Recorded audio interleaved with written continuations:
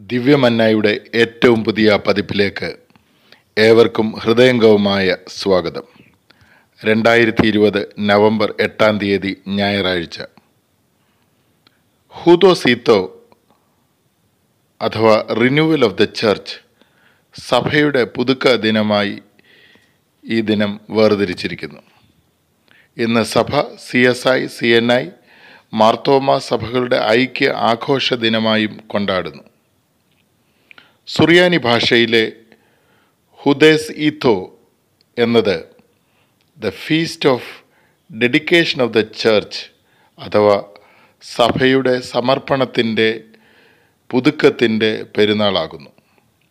കൂടാര പെരുന്നാളിന് മൂന്ന് മാസങ്ങൾക്ക് ശേഷമുള്ള ഈ പെരുന്നാൾ യഹൂദരെ സംബന്ധിച്ച് വെളിച്ചത്തിന്റെ പെരുന്നാൾ കൂടെയാണ് ഫെസ്റ്റിവൽ ഓഫ് ലൈറ്റ്. ഇരുളേറുന്ന സാമൂഹിക ക്രമത്തിൽ വെളിച്ചത്തിന്റെ വാഹകരായ സമൂഹം എന്ന നിലയിൽ സഭ വർഷം തോറും ഈ ദിനം ക്രിസ്തുവിന്റെ വെളിച്ചത്തിൽ പുതുക്കപ്പെടുകയും പുനരർപ്പണം ചെയ്യുകയും ചെയ്യുന്നു. ഭാരതത്തിലെ സഭകളുടെ സംഗതമായ സാക്ഷ്യത്തിന് സഭകളുടെ ഐക്യം അനിവാര്യമാണെന്ന ബോധ്യത്തിലാണ് C N I C S I Marthoma സഭകളുടെ ഐക്യവേദിയായ communion of churches in India രണ്ടായിരം ആണ്ട് നവംബറിൽ രൂപീകരിക്കപ്പെട്ടത്. സഭകൾ തമ്മിൽ അകലങ്ങൾ വർദ്ധിക്കുകയും സംഘർഷങ്ങളിലേക്ക് അത് നയിക്കുകയും ചെയ്യുന്ന സമകാലിക ഭാരത പശ്ചാത്തലത്തിൽ സഭകളുടെ ഐക്യം ആഘോഷിക്കപ്പെടുകയും മാതൃകാപരമായ ദൗത്യ നിർവഹണത്തിന് വിശ്വാസ സമൂഹത്തെ ഒരുക്കുകയും ചെയ്യേണ്ടത് അനിവാര്യമായ ക്രിസ്തീയ ധർമ്മമാകുന്നു. സഭയുടെ പുതുക്കത്തിന് നിദാനമാകുന്ന പാഠഭാഗങ്ങളാണ് ഇന്നത്തെ നമ്മുടെ ചിന്തയ്ക്ക് അടിസ്ഥാനം. ഒന്നാം പാഠഭാഗം മീഖ പ്രവചനം ആറാം അധ്യായം ഒന്ന് മുതൽ ആറ് വരെയുള്ള വാക്യങ്ങളാകുന്നു. ദൈവ വഴിയിൽ നിന്ന് മാറി സഞ്ചരിക്കുന്ന ഇസ്രയേലിനോട് നീതി ന്യായം താഴ്മ എന്നിവ ധരിച്ച് ദൈവ വഴിയിലേക്കും യഥാർത്ഥ അനുതാപ ആരാധനയിലേക്കും മടങ്ങണമെന്ന് ദൈവം ഓർപ്പിക്കുന്നു.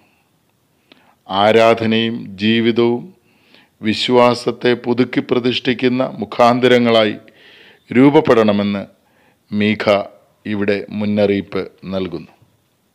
രണ്ടാം പാഠഭാഗം രണ്ട് കൊരിന്ത്യർ നാലാം അധ്യായം ഏഴ് മുതൽ പതിനഞ്ച് വരെയുള്ള വാക്യങ്ങളാണ്.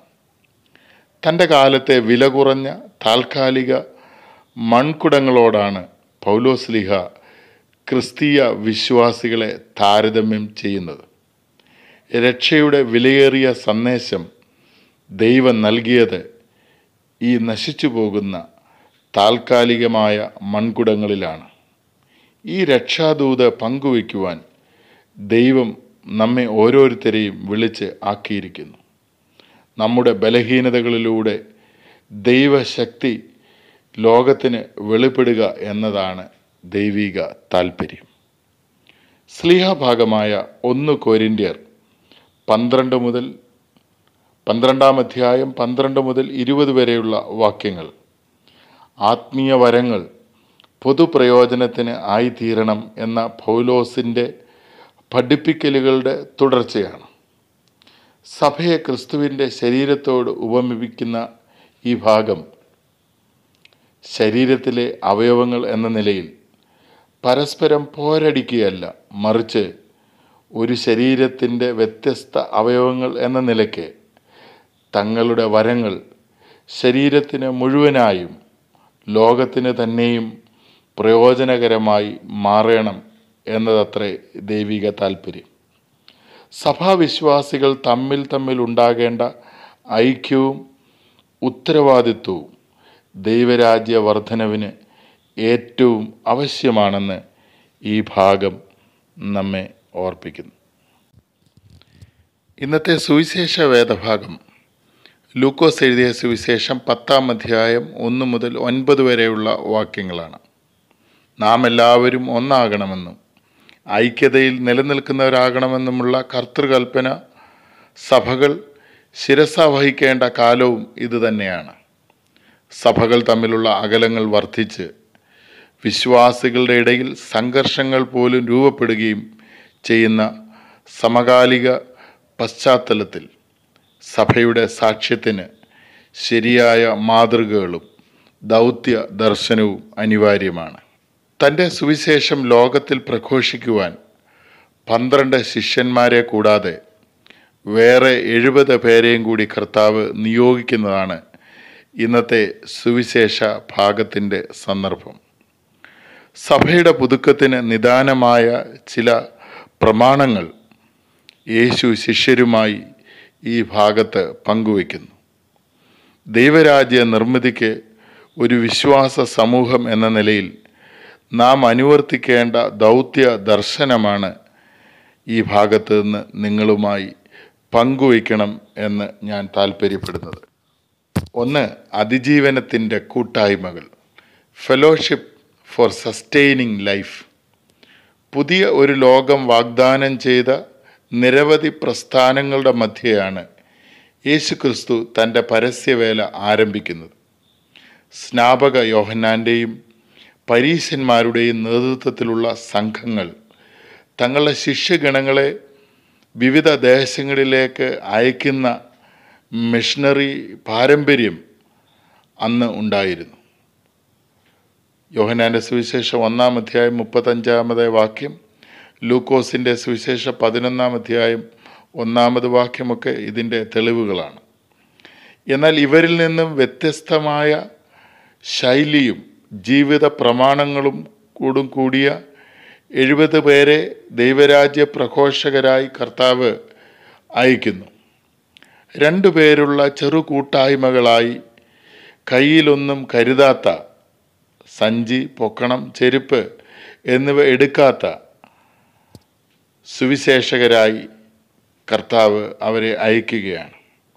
അതിജീവനത്തിന്റെ പുതിയ പാഠങ്ങൾ സൃഷ്ടിക്കുവാൻ ക്രിസ്തു അവരെ പ്രാപ്തരാക്കുന്നു ഇതിലൂടെ. ക്രിസ്തുവിനെ മാത്രം മൂലധനമാക്കി യാത്രയായ സഞ്ചാര സുവിശേഷകർ അവരനെയും ആലംബഹീനരെയും എല്ലാവരെയും കൂട്ടി കൂട്ടായ്മകൾ ഒരുക്കുന്ന ദൈവരാജ്യത്തിന്റെ മഹനീയമായ കാഴ്ച ലൂക്കോസ് വരച്ചു കാണിക്കുകയാണ്. ക്രിസ്തു എന്ന മൂലധനത്തിൽ അതിജീവനത്തിന്റെ കൂട്ടായ്മകൾ. കോവിഡ് അനന്തര കാലത്ത് ഒരുക്കുവാൻ സഭകൾക്ക് സാധ്യമായി തീരട്ടെ എന്ന് നമുക്ക് പ്രാർത്ഥിക്കാം. രണ്ടാമതായി ആതിഥേയത്തിന്റെ ആത്മീയത സ്പിരിച്വാലിറ്റി ഇൻ ഹോസ്പിറ്റാലിറ്റി പുതിയ കാലത്തിന്റെ എഴുത്തുകാരനായ ഹെൻറി നൊവൻ പറയുന്നത് ആതിഥേയത്വം മാറ്റത്തിന്റെ ഇടമൊരുക്കുന്ന വേദികളാവണം എന്നത്രേ. പുതിയ സമൂഹ സൃഷ്ടിയിൽ അവിഭാജ്യ ഘടകമാണ് ആതിഥേയത്വം. അതിഥിയെയും അപരിചിതനെയും സമഭാവനയിൽ ശുശ്രൂഷിക്കുന്ന ആത്മീയ സുഹൃതമാണത്. ഏത് വീട്ടിലെങ്കിലും ചെന്നാൽ ഈ വീടിന് സമാധാനം എന്ന് പറയുകയും വീട്ടിൽ നിന്ന് മറ്റു വീടുകളിലേക്ക് മാറിപ്പോവുകയോ ചെയ്യരുത് എന്ന് ലൂക്കോസ് പ്രസ്താവിക്കുന്നത് പ്രത്യേകം നാം ശ്രദ്ധിക്കേണ്ടതാണ്. ഏത് പ്രതിസന്ധിയിലും സമാധാനവാഹകരായി സുഖ സൗകര്യങ്ങളുടെ പ്രലോഭനങ്ങളിൽ വീഴാതെ തങ്ങളുടെ ദൗത്യം നിർവഹിക്കുന്ന വിശ്വാസ സമൂഹമാകണം സഭ. ഭാരതത്തിലെ സഭകൾ തമ്മിലുള്ള ഐക്യത്തിനും വിവിധ മതങ്ങളും വിവിധ രാഷ്ട്രീയ സാംസ്കാരിക വൈജാത്യങ്ങൾക്കും മധ്യേ ആതിഥേയത്തിന്റെ ആത്മീയത പുത്തൻ സമൂഹ സൃഷ്ടിക്ക് മുഖാന്തരമായി തീരട്ടെ. സഭകളുടെ ഐക്യം അതിന് മാതൃകയാകട്ടെ എന്ന് നമുക്ക് പ്രാർത്ഥിക്കുകയും അതിനായി ഒരുങ്ങുകയും ചെയ്യാം. മൂന്നാമതായി അവഗണിക്കപ്പെട്ടവരെ അംഗീകരിക്കുക. അക്സെപ്റ്റിംഗ് ദ എക്സ്ക്ലൂഡഡ് ക്രിസ്തീയ ദൗത്യത്തിന്റെ വെല്ലുവിളി ചെന്നായ്ക്കളുടെ മുമ്പിൽ കുഞ്ഞാടുകളായി പോവുക എന്നതാണ്. വർഗവ്യത്യാസങ്ങളാൽ അവഗണിക്കപ്പെട്ട പുറംജാതികളുടെ മധ്യേ അവരുടെ കൂടെ ഭക്ഷിച്ച് അവരോടൊപ്പം വസിക്കുക എന്നത് ക്രിസ്തു സ്നേഹത്തിന്റെ അളവറ്റ മാതൃകയായി മാറുന്നു. നിങ്ങൾ അവരോടുകൂടെ ഭക്ഷിക്കണം അവരോടുകൂടെ പാർക്കണം എന്ന് ക്രിസ്തു പറയുമ്പോൾ വിവേചനങ്ങൾ ഏർപ്പെട്ട വിവേചനങ്ങളാൽ പുറത്താക്കപ്പെട്ട ഒരു സമൂഹത്തെ ക്രിസ്തീയ സ്നേഹത്തിന്റെ കൂട്ടായ്മയിലേക്ക് ആകർഷിക്കുവാൻ ക്രിസ്തു നൽകുന്ന സ്നേഹ മന്ത്രണങ്ങളായി മാറുന്നു അവ.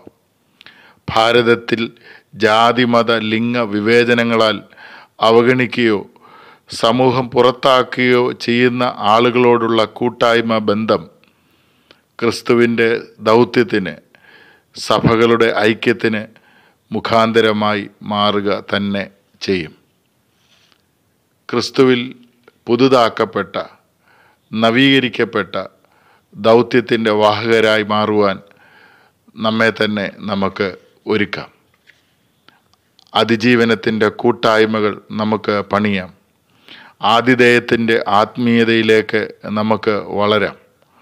അവഗണിക്കപ്പെട്ടവരെ ചേർക്കുകയും അംഗീകരിക്കുകയും ചെയ്തുകൊണ്ട് ഭാരത ദൗത്യത്തിന് നവമാതൃകകൾ സൃഷ്ടിക്കുവാൻ സഭ ഐക്യദിനമായ ഈ ഞായറാഴ്ച നമുക്കിടയായി തീരട്ടെ ദൈവം നമ്മെ സഹായിക്കട്ടെ എന്ന് പ്രാർത്ഥിച്ചുകൊണ്ട് ഞാൻ എന്റെ വാക്കുകൾ ചുരുക്കുന്നു. ദൈവം നമ്മെ അനുഗ്രഹിക്കട്ടെ. ആമേൻ.